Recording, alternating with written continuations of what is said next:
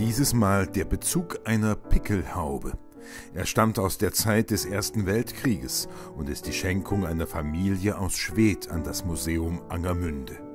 Das Team des Museums wird dieses Objekt des Monats hier als Videopodcast vorstellen. Wir wollen Ihnen also auf diesem neuen Wege ein Objekt des Monats vorstellen, ein sehr interessantes Objekt, den Überzug über eine Pickelhaube aus der Zeit des Ersten Weltkrieges.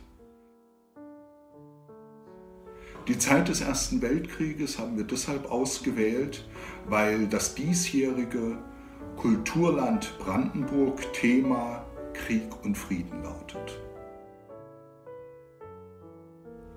Wir haben uns davon inspirieren lassen und schauen auf ein Objekt, das gleichsam in das kriegerische 20. Jahrhundert hineinführt, nämlich in den Ersten Weltkrieg. Zunächst einige Worte zur sogenannten Pickelhaube. 1842 ließ der preußische König Friedrich Wilhelm IV. eine neue Uniform beim Heer einführen, zu der ein längerer Uniformrock gehörte und ab 1843 auch der Helm mit Spitze, so die offizielle Bezeichnung, der bald den populären Namen Pickelhaube erhielt. Diese Pickelhaube gilt heute allgemein als ein Symbol für den preußisch-deutschen Militarismus. So erscheint sie bereits auf dem Titelbild der berühmten sozialdemokratischen Satirezeitschrift Der wahre Jakob als ein Sargdeckel von Fortschritt und Kultur. Um die Ursprünge der markanten Helmform ranken sich viele Vermutungen und Legenden. Manchmal ist zu lesen, dass die Spitze Säbelhiebe ablenken konnte und damit den Soldaten auch Schutz bieten sollte. Doch davon ist kaum auszugehen. Allein schon aufgrund der Tatsache, dass der eigentliche Helm aus gepresstem Büffelleder bestand, war eine Schutzfunktion sicher kaum gegeben. Eine weitere Geschichte besagt, dass der König dafür in Russland ein Vorbild fand. Allerdings wurde dort die Pickelhaube erst nach Preußen eingeführt. Manche meinen auch, dass die bayerische Feuerwehr mit solchen Helmen ausgestattet wurde, um damit im Notfall Türen aufbrechen zu können oder auch Schutz vor herabfallenden Trümmern zu erhalten. Viel näher liegt jedoch die Vermutung, dass es sich bei der Spitze vor allem um eine Helmzieher handelt, zum Zweck der Repräsentation. Die DDR-Comic-Zeitschrift Mosaik wartete 1963 mit einer eigenen Version zur Erfindung der Pickelhaube auf. Ein berüchtigter Feldwebel der Berliner Wache zertrümmerte seinen Soldaten immer wieder die Kopfbedeckung, wenn er an ihrer Disziplin etwas auszusetzen hatte. Schließlich kamen die Comichelden auf die Idee, einen Stachel in der Haube zu verbauen. Der Feldwebel machte beim Zuschlagen eine schmerzhafte Erfahrung und der König war begeistert. Nun konnte das Staatseigentum nicht mehr so einfach beschädigt werden. Fakt ist jedenfalls, dass Helme mit Spitze in zahlreichen Armeen auf der ganzen Welt anzutreffen waren, so unter anderem in Russland, Schweden, Norwegen, Portugal, Rumänien, Argentinien, Brasilien, Chile, Mexiko, Spanien und den USA. In einigen dieser Länder gehört die Pickelhaube noch heute zur Uniform von Repräsentationseinheiten. Eine auffällige Mützenform mit Spitze, die an vorgeschichtliche Helme erinnert und möglicherweise sogar erinnern sollte, war die berühmte Budjonni-Mütze zur Zeit der Revolution und des Bürgerkrieges in der Sowjetunion. Auch hierzulande blieb der Helm mit Spitze bei Feuerwehren und der Polizei noch bis zur Mitte des 20. Jahrhunderts erhalten. Im Werk des aus Biesenbroh bei Angermünde stammenden Schriftstellers Ehm Welk gibt es eine Reihe von Einblicken in die Welt kindlicher Bewunderung für Krieg und Militär. Kantor Kannegieser war nicht weiter als bis nach Stettin und Berlin gekommen, nicht mal so weit wie Nachtwächter Bärensprung, der war sogar in Frankreich gewesen, damals beim Todesritt von Marcel Latour, anno 70. Auf dem Marktplatz stand das Denkmal, auf dem die zwei Kaiser sich guten Tag sagten, und die Fahnen waren aus Eisen. Gegenüber stand ein Soldat Posten, das war auch ganz schön anzusehen, Martin schlug einen Wirbel, wie er noch nie einen geschlagen hatte, ließ ihn ansteigen und abschwellen, legte einen Marsch dazwischen, ging in ein wahres Furioso über, und vielleicht auch, weil es sein bestes Stück war. Sie hörten alle, wie die Trommel noch dumpfer klang und schwerer, und verstanden den Marsch. Ulrike war die Erste, Traugott der Zweite und dann ganz groß Johannes.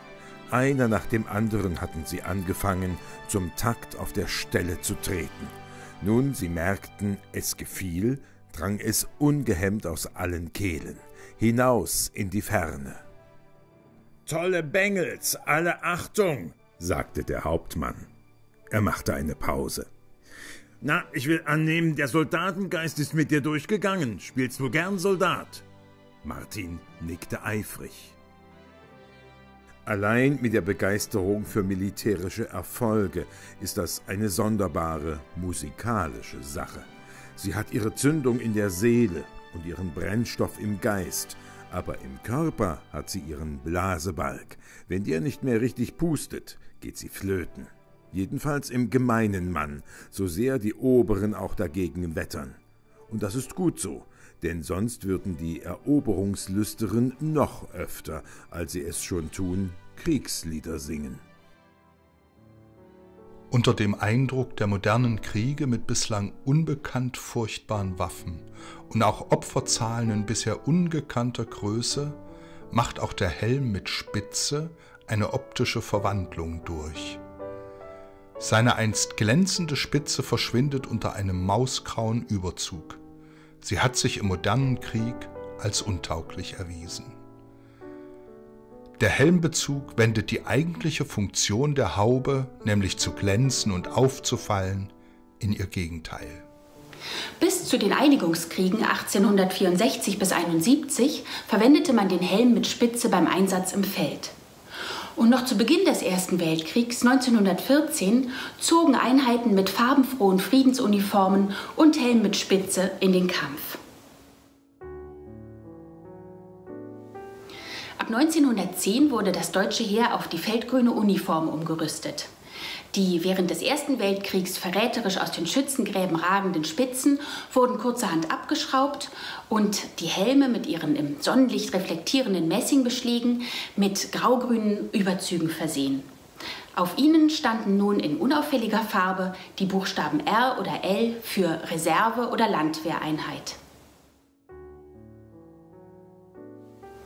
Unser Helmbezug gelangte als Schenkung einer später Familie in das Museum Angermünde. Ein Vorfahr hatte bei den Dragonern gedient und später im Ersten Weltkrieg gekämpft. Die nach ihrer Uniform benannten schwarzen oder blauen Dragoner gehörten zu den Eliteeinheiten des preußisch-deutschen Heeres, zu denen fast ausschließlich Adlige oder die Söhne reicher Bauern gehörten. Das Regiment nahm unter anderem im Deutsch-Französischen Krieg 1870-71 am sogenannten Todesritt von Mars-la-Tour teil, einer der letzten Kavallerieattacken unter dem Einsatz von Lanzen. In im Welksheiden von Kummerow verliert Nachtwächter Bärensprung hierbei ein Bein. Für eine bessere Tarnung führten die britischen Truppen am Ende des 19. Jahrhunderts während der Kolonialkriege einen khakifarbenen Überzug für ihren Tropenhelm mit Spitze ein.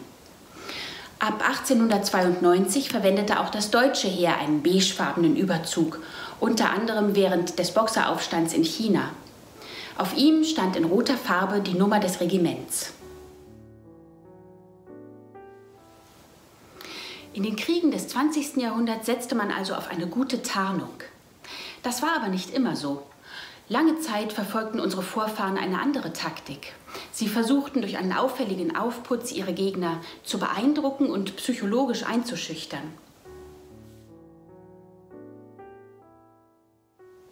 So berichtet bereits Tacitus in seiner Germania über die Putzsucht der Fürsten der Sweden, nicht um zu lieben oder geliebt zu werden, sondern in der Absicht, stattlich und schrecklich zu wirken, schmücken und bewaffnen sie sich, wenn sie zum Krieg ausziehen, für die Augen ihrer Feinde.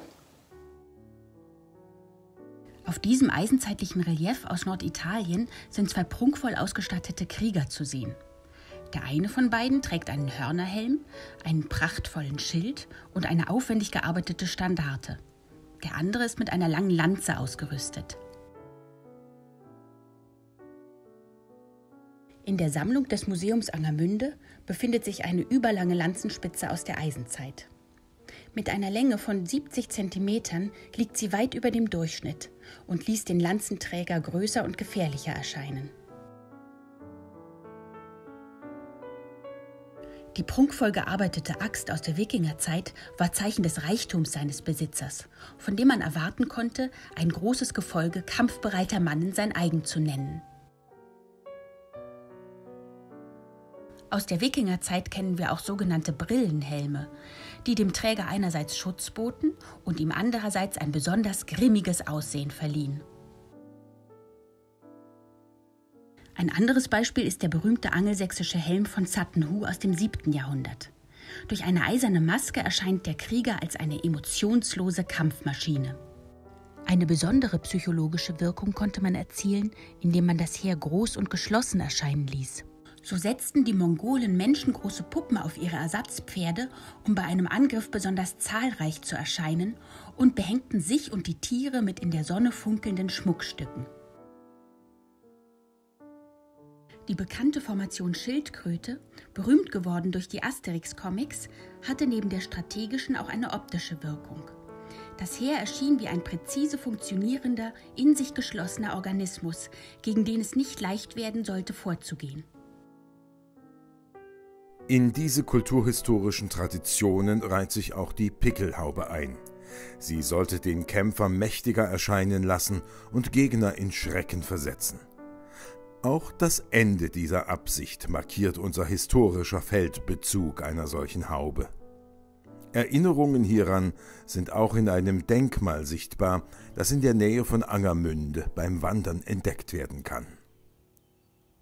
Für unser neues Museumsformat, den Podcast des Museums Angermünde, haben wir uns vorgenommen, immer einen ganz besonderen Aspekt auch zu verfolgen, nämlich die Wirkung des Objekts oder die Wirkung der mit dem Objekt im Zusammenhang stehenden Menschen in der Landschaft.